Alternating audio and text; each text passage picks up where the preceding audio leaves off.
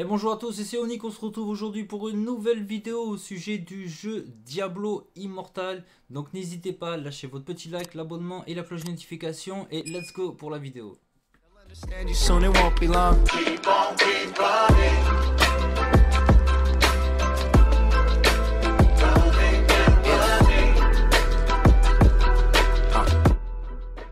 Amis, sur cette vidéo, je vais donner mon point de vue sur Diablo Immortal. Bien sûr, ça reste mon point de vue personnel. Il y a des gens qui ne partageront pas ce point de vue. Je vois beaucoup de gens sur internet dire oui, pour ce jeu, quand on est free to play, on ne peut pas avancer dans le jeu.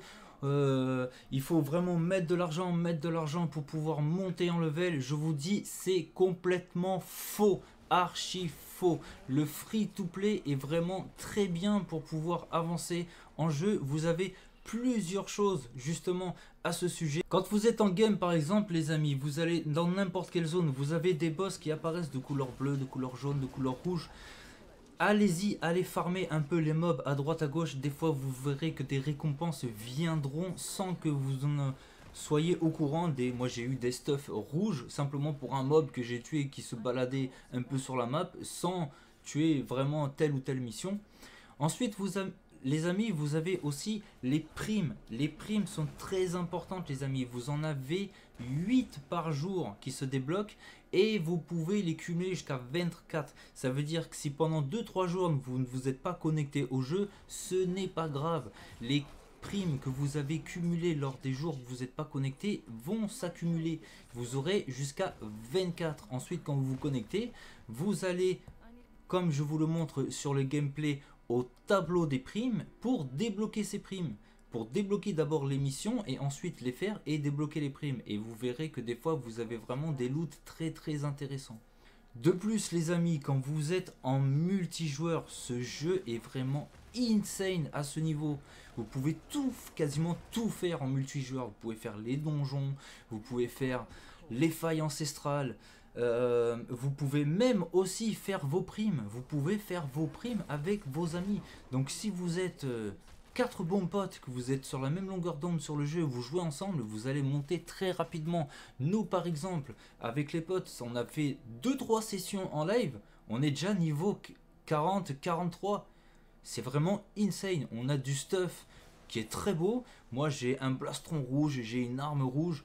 C'est vraiment, vraiment très intéressant. Donc vous avez beaucoup de choses à faire. Ensuite, quand vous vous baladez sur, euh, sur la, map et que vous complétez l'histoire, consultez toujours votre codex. Le codex va vous donner énormément de récompenses à prendre. Vous avez aussi une autre chose dans le free-to-play que vous pouvez améliorer votre stuff. Il vous suffit d'aller voir le lieutenant Fizria, allez voir le marchand d'Incuse sur la map, vous avez une petite besace. Euh, et il vous suffit de chercher un peu dans toutes les villes, vous avez une petite besace et que c'est marqué marchand d'Incuse. Vous allez ici et je crois que c'est une fois par semaine ou une fois par mois, vous pouvez avoir un stuff gratuit à votre choix. Et que vous pouvez adapter en fonction de votre gameplay car en fonction des, euh, des compétences de combat que vous avez ça leur donnera plus ou moins de force. Donc c'est aussi un avantage.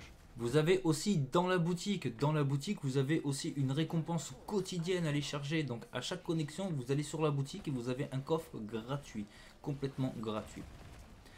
Donc voilà les amis, moi c'était un peu mon ressenti à moi sur le jeu, à savoir que le jeu c'est une bêta, donc euh, forcément, il peut y avoir euh, des petits problèmes à droite à gauche. Moi, les seuls problèmes qu'on a, c'est des fois des petites déconnexions qu'on a, mais c'est même quand vous vous êtes déconnecté d'un donjon, vous vous reconnectez, vous repopez dans le même donjon et à l'endroit où vous étiez. Donc moi, je vous dis sur ce jeu, je le trouve bien. Il est très bien en multijoueur et les combats sont franchement archi faciles. Nous, on est 4, on one shot tout à chaque fois qu'on rentre dans un endroit. Donc euh, franchement, c'est trop bien. Donc merci à tous d'avoir regardé cette vidéo. N'oubliez pas le petit like, l'abonnement, la petite cloche de notification. N'hésitez pas à me laisser votre avis en commentaire, j'y répondrai. Je vous laisse, je vous dis à très bientôt pour une nouvelle vidéo. C'était Onic, allez ciao ciao.